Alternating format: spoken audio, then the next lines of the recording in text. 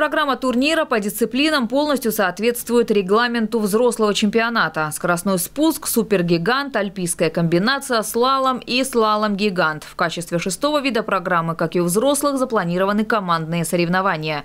Юниорский чемпионат мира может стать стартовой площадкой для привлечения уже в ближайшем будущем этапов Кубка мира по горнолыжному спорту в Сочи. Такое предложение российской стороны уже получило одобрение Федерации.